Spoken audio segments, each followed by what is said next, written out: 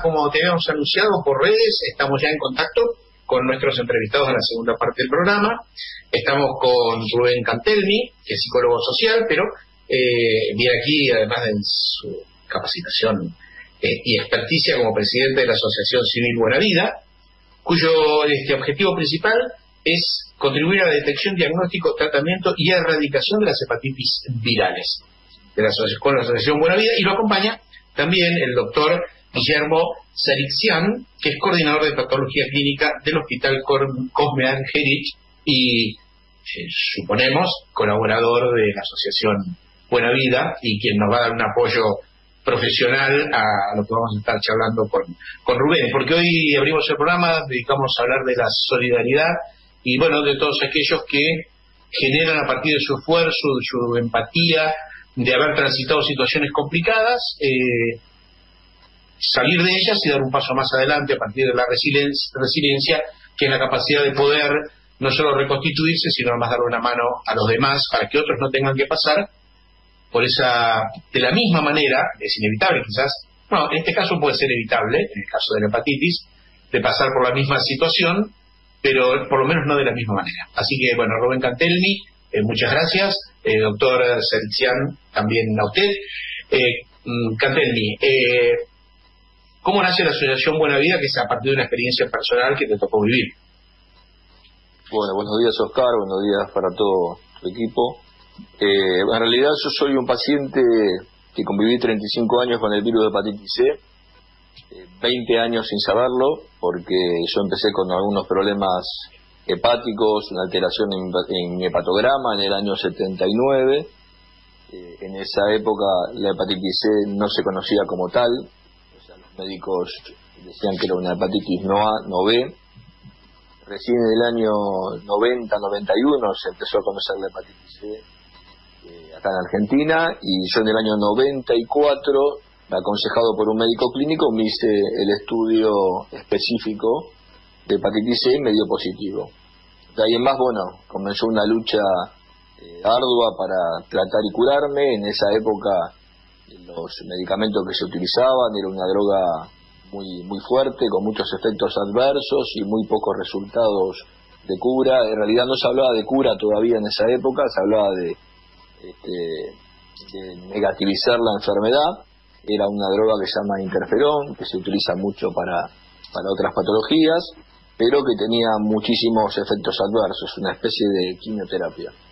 Y bueno, yo me traté cuatro veces con esa droga porque no tenía resultados. O sea, el primer tratamiento eh, me lo suspendieron porque me hizo mucho daño, el segundo tratamiento me lo suspendieron porque mi carga viral no, no descendía, el tercer tratamiento lo sostuve un año, negativicé, el virus al mes recidivó, es decir, volvió a aparecer. Y en el cuarto tratamiento, hace ocho años, eh, me curé definitivamente. Ahí comenzó mi idea de, armar un grupo con quien era en ese momento el jefe de patología del Hospital Argerich, el doctor Frieder, que era mi médico personal durante 15 años, hoy falleció hace un par de años, me propuso armar un grupo para lo cual me empecé a formar eh, en, salud mental, hice la carrera de psicólogo social y consultoría psicológica porque sentía que al paciente había que acompañarlo no solo de la parte empática, que es lo que yo podía aportar, sino también de la parte emocional. Es una enfermedad que desde el momento del diagnóstico trae muchísimas dudas, eh, mucho miedo. Yo siempre digo que quien tiene hepatitis C anda por la vida como que tuviera una bomba de tiempo adentro que nunca sabe cuándo va a estallar esa es la sensación que yo tuve y la sensación que tuve y tienen muchos pacientes. Y bueno, empezamos en el hospital Argerich con un solo paciente durante mucho tiempo, que lo, aburrí, pobre, de, escucharme, hasta que el grupo fue creciendo, después replicamos en el hospital Ramos Mejía, en el hospital Durán, en la Universidad Maimónides, y hace seis años que comenzamos con los trámites con la personalidad jurídica para para tener lo que tenemos hoy, que es la Asociación Civil Buena Vida. Brindamos apoyo a pacientes con todas las enfermedades hepáticas, pero realmente el 90-95% de los pacientes son eh, pacientes que tienen el virus de hepatitis C. Eh, Sí. Ah, sí, no, le quería preguntar justamente al doctor Serixian, mm, como bueno, especialista en el tema y acompañante de la tarea que ustedes hacen en la Asociación Buena Vida, ¿cómo es este tema de la hepatitis C, que, es relativamente novedoso, que no tiene mucha difusión? ¿Cómo es esta cuestión de que puede permanecer silencioso y que tiene tantas variantes, no? O sea, uno puede tener el virus, puede tener muy pocos síntomas, puede complicarse muchísimo, puede poner en riesgo la vida. ¿Cómo se maneja y cómo se puede detectar esto? Hola, ¿qué, qué tal? Bueno, buenos días ante todo. Eh, sí, eh, el tema de la hepatitis C, este, como bien decía Rubén, fue un tema que se descubrió hace relativamente pocos años, eh, más de mm, unos 30 años atrás, todavía se llamaba hepatitis no A, no B, porque no se la conocía, no se, no se había identificado el virus. Eh, a medida que fueron pasando los, los años, se, fue, se fueron, bueno, primero se vio cuál era el virus, se fue viendo cómo había tratamientos, se usó mucho tiempo interferón, que era una medicación muy fuerte, que tenía muchas complicaciones y muy poco éxito eh, durante muchos años, hasta hace cinco años, seis años atrás, que se ponen a punto los eh, medicamentos antivirales nuevos que, que tienen alta efectividad. Son pastillas que se toman y que tienen una efectividad muy alta. Eh, el, el, tema es que ese tratamiento es bastante nuevo y la gente todavía, eh, no todos los pacientes se han tratado con ello. O sea, muchos pacientes que tienen la enfermedad o eh, asintomática o el que está de moda ese término, bueno, hay mucha gente que está asintomática, que tiene el virus y que no lo sabe. ¿Y qué le va a pasar? El problema que tiene fundamentalmente es que en el hígado ese virus produce un daño lento que puede ser más o menos rápido dependiendo de la persona y cómo es que está esa persona, eh, este, si, si, si, por ejemplo toma alcohol, si es tiene eh, diabetes, si es obeso, si toma, si tiene alguna enfermedad con causal, entonces esos años que puede llevar la enfermedad en forma silente y asintomática se pueden, este, se pueden ir achicando hasta que llega un punto en el cual el hígado llega a la cirrosis. Entonces muchas veces el paciente llega a la consulta así, con cirrosis, y con los signos y síntomas de una cirrosis. Y eso ya es eh, un punto de alarma. Uno dice, ¿qué pasó? 20 años tuvo el virus y por ahí no se enteró. Entonces, nosotros este, hacemos estas campañas y hacemos estas jornadas de concientización muchas veces para que las personas se hagan, aunque sea una vez, el test de la hepatitis C y con eso se diagnostiquen. Por lo menos que sepan que tienen el virus y que en base a eso hagan algo, o sea, se haga un tratamiento que como bien, como bien dije antes, los tratamientos nuevos tienen alta efectividad, 95% o más de cura. ¿Qué tal, doctor? Buenos días.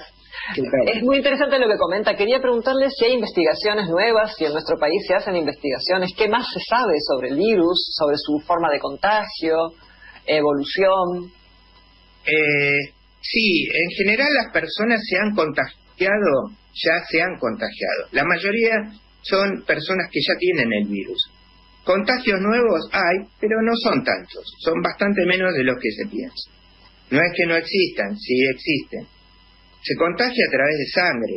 Lo que pasa que justamente la sangre y los hemoderivados tratan de estar testeados, o sea, los bancos de sangre hacen la prueba de la hepatitis y obviamente descartan la, descartan aquellas que tienen el, que sale reactivo la serología de hepatitis. Eh, la forma de transmisión usual era esa, era a través de sangre, hemoderivados, en las personas que, tenían eh, drogadicción intravenosa, que compartían agujas. Eh, la forma sexual no es común, existe, pero no es la, no es la más común. Eh, a diferencia de otras enfermedades de transmisión eh, sexualmente transmitidas, la hepatitis C se puede transmitir, pero no se considera como una enfermedad de transmisión sexual propiamente. Y eh, fundamentalmente, eh, como decía, las personas ya tienen el virus. Y muchas veces, cuando adquieren la hepatitis, no hacen una forma sintomática, no hacen lo que se llama usualmente, tengo hepatitis aguda, o sea que uno se pone amarillo, que tiene síntomas, sino que cursan con mínima sintomatología inespecífica, o sea, un cuadro por ahí virósico, como de decaimiento, no llega ni siquiera a ponerse amarillo, no orinan oscuro, no tienen materia fecal clara, que es la, la triada característica de la hepatitis. No tienen nada de eso. Tienen alterado el hepatograma, pero nadie se está haciendo un hepatograma en ese momento, o sea, porque justamente eh, no, no, uno no tiene sospecha de la enfermedad, no se hace un control. Entonces pasa ese, eh, ese estadio inicial y después viene el estadio crónico. ¿Por qué? Porque este virus, a 80% de las personas le queda crónico. O sea, el virus queda en la sangre, en el hígado, dando vueltas y produciendo ese daño que es eh, lento, pero continuo. Entonces, al no haber podido eliminar el virus, eh, uno tiene que llegar en algún momento a eliminarlo, porque si no, 20, 30 años después, puede llegar a tener cirrosis. Y cuando se entere que tiene cirrosis, ya va a ser otra enfermedad, va a tener que tratar la cirrosis, que es otro tratamiento además del virus. ¿Me explico? Entonces uno tiene que evitar llegar a ese estadio y tratarse antes. Por eso eh, clarísimo. Ahí, doctor, si me permite, Merlo quiere, quiere hacer una pregunta eh, y quiero agregar dos cositas antes, si me permiten. eh, bueno, no, no, les mandan y, se ve que trabaja muy bien en Argelis porque Carlos nos dice muy bueno el programa y un saludo afectuoso para todo el hospital Argerich y Gonzalo Colegial. Es muy interesante los temas que están tratando y muchas gracias por los datos que están enviando. Merlo. En realidad era para, era para Rubén. Eh, buenos días. No, eh, Rubén, estoy viendo que entre los objetivos de la, de la asociación de ustedes es en trabajar en el tema de la prevención primaria, la concientización, en temas hepáticos, ¿no? Y yo, nosotros como somos una asociación civil Martín Castellucci, que trabajamos por los derechos de los jóvenes, contra la discriminación y la violencia, siempre hemos tratado el tema de, bueno, acá el doctor lo mencionó, creo, que el tema de, de que el alcohol es un elemento que, bueno, daña, daña fuertemente, muchas veces en el hígado seguramente, que digamos, cuál es la mirada de ustedes al respecto. Nosotros, para nosotros es una gran preocupación el consumo que hay, la difusión del alcohol, los jóvenes y demás. Sí, totalmente. Eh, no me quiero meter en un tema técnico estando el doctor presente, pero eh, el término hepatitis significa inflamación eh, de hígado, hepato hígado y es inflamación. Esa inflamación puede venir por diversas causas. Cuando hablamos de hepatitis virales, a, B o C, la causa es el virus. En este caso, el alcohol es un hepatotóxico y produce una inflamación que es una hepatitis alcohólica. Y también puede llegar, como llega en muchos casos, a la cirrosis hepática. O sea, se llega por distintos caminos. No solamente las hepatitis son virales, cuando uno habla de hepatitis generalmente piensa en hepatitis virales, pero hay hepatitis alcohólicas, tóxicas, autoinmunes, por hígado graso. O sea, son distintas las causas por las cuales se puede llegar a una inflamación de hígado que sostenida en el tiempo produce un daño, como bien dijo el doctor, eh, muy grave que es la cirrosis. El alcohol, lógicamente, y el exceso en el consumo de alcohol es un problema gravísimo y es muy probable que tengamos una futura este, generación con daños hepáticos graves este, y también con algo que se está hablando muchísimo hoy en día en Argentina, la prevalencia muy alta, que es el hígado graso este caso sería un hígado graso alcohólico, más allá del hígado graso no alcohólico, que por mala alimentación y falta de hábitos saludables tiene buen porcentaje de la población. Sí, Karina. No, quería consultarte, Rubén. Este mes se cumple, se, se conmemora el día justamente de contra o la acción contra la hepatitis. Quería comentar si hay alguna actividad específica que van a realizar. Sí, el 28 de julio es el Día este, Mundial de las Hepatitis Virales. Lógicamente este año, por, por todo el tema que todos vivimos de la pandemia, no se puede hacer lo que hacemos generalmente, que son campañas de detección. Este, se, vamos a hacer seguramente algo virtual, como todo lo que estamos haciendo hoy en día. Eh, y la idea es esto de concientizar a la población Eh, algo que quiero dejar bien claro, o sea, cualquier persona que tenga más de 30 años seguramente estuvo expuesta al virus, porque este virus, en mi caso yo me contagié en un odontólogo. Eh, la transmisión de sangre con sangre se puede dar tanto en una práctica odontológica, en cualquier persona que fue intervenida quirúrgicamente con un elemento que estuviera mal esterilizado, en personas que se hicieron tatuaje, piercing, acupuntura, en manicuría, pedicuría. Entonces, si nos remitimos a eso, es muy raro que una persona no haya estado expuesta al virus. Por eso siempre decimos que hacerse el test por lo menos una vez en la vida. Pedir al médico el test de hepatitis B y hepatitis C. Si la hepatitis B le da negativo, se vacuna con el esquema completo y si la hepatitis B eh, C le da negativo, se queda tranquilo y si es positivo, se encomienda a tratarse y a curarse, que hoy en día es bastante fácil. ¿En qué consiste el test, Rubén? Es un, bueno, doctor, es un pedido, es un estudio específico, una serología de hepatitis B y hepatitis C. ¿Y la vacuna de la hepatitis qué te cubre? Doctor, no hay vacuna. No hay vacuna de hepatitis C. Pero uno, este, la verdad que escucho Rubén y uno sabe que todo lo que está diciendo es totalmente correcto, o sea, no tienen, no tiene, lo, dice mejor que yo, el alumno superó al profesor en eso. Este, eh, eh, no hay vacuna contra hepatitis C, la hepatitis A y la B tienen vacunas. Eh, en Argentina la hepatitis B se vacuna desde el año 2000 a todos los chicos cuando apenas nacen y la hepatitis A desde el año 2005 al año se da una dosis, lo cual alcanza un 95% de cobertura. Entonces, dejaron de ser prácticamente grandes problemas de salud, tanto la hepatitis A como la B. No es que no existan algunos casos, especialmente ahora que hay mucha más, digamos, migración y que eh, hay mucho más viajes de, gente que viene de otros países y puede llegar a venir con las enfermedades y transmitirla especialmente en gente que no está vacunada, ¿no? Pero eh, los chicos que eran los mayores vectores y los adolescentes eh, este, están todos vacunados contra hepatitis A y la hepatitis A hay casos esporádicos. De la hepatitis B, la transmisión es fundamentalmente de vida sexual, por eso también este, hay que tener en cuenta que toda persona joven se le recomienda vacunarse. ¿Eh? la vacunación es universal, o sea, cualquier persona se puede vacunar contra hepatitis B. Eh, son tres dosis que se dan entre C o sea, entre al 0, 1 y 6 meses, y con eso también tiene una cobertura superior al 90%, generando anticuerpos que muchas veces duran toda la vida y que no es necesario darse dosis. Eh, sí, con la hepatitis C no hay, no hay vacuna, hay prevención. La vacuna se supone que están en investigación, justamente eh, están en investigaciones vacunas con la con eh, esta tecnología de ARN que se está viendo para el coronavirus, se están haciendo investigaciones con, con este con este tipo de vacunas y quizás en el futuro exista alguna vacuna. Pero por ahora lo que hay son tratamientos efectivos y la base de todo está en detectar a los pacientes, los pacientes que tienen este, hepatitis C, que como dije antes, 80% que adquirió el virus le queda y hay que hacer algo, y una vez que se detecte, tratar. Tratarlo con tratamientos que son cortos, no son de por vida, como en otras enfermedades, no, se tratan 8 o 12 semanas, el paciente se cura y hace su vida después normal.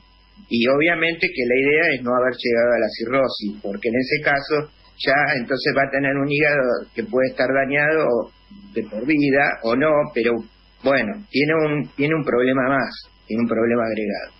Y con respecto a lo que decían antes del alcohol, hay que tener en cuenta que cuando uno tiene hepatitis C y alcohol, los tiempos se acortan de daño. O sea, si una persona tiene alcohol, digamos, o sea, toma alcohol, bueno, va, va el, el hígado a dañarse en determinada cantidad de tiempo. Pero si tiene hepatitis C, eso se acorta, se acorta mucho.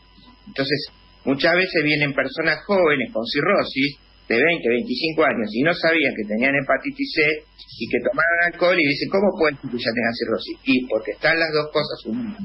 Entonces, eso es otra de las cosas que tenemos que tener en cuenta. Eh, bueno, si me permiten, quiero compartir, hoy, tenemos muchos mensajes, por lo menos para, para compartir algunos. Este tiene que ver con la primera parte del programa, con lo que hablamos con el doctor Citrinbaum, y María Villacrespo nos dice, respecto al síndrome de Down, sé cuánto potencial tienen estas personas. Trabajé en una escuela laboral de y quedé maravillada. Es muy importante el acompañamiento a las familias, que es la tarea que cumple AGRA. Y bueno, medio sobre el final del programa quiero volver a Rubén Cantelmi, el presidente de la Asociación Buena Vida. Eh, me entré la página a ustedes, recomiendo, me gustaría, digamos, también que, nos digas cómo contactarse con ustedes, cómo vincularse, pero bueno, me, impactó mucho eh, ver eh, las personas se ponen esa remera naranja, que ustedes utilizan, digamos, como color identificatorio, y se pone una campera que dice yo curado. ¿Qué se siente cuando te pones esa, esa remera después de pasar por lo que tuviste que pasar. Y que se desactivó la bomba. Este, es, es la verdad que es un momento eh, inexplicable. No, no, no solo lo que viví yo, sino lo que vivimos cada vez que entregamos la remera de curados. Eh, eh, realmente un paciente experimenta lo que se siente una vez que, se curó. Realmente es un momento muy emotivo, nosotros hacemos una ceremonia, una fiesta, literalmente, donde le entregamos un diploma, una remera.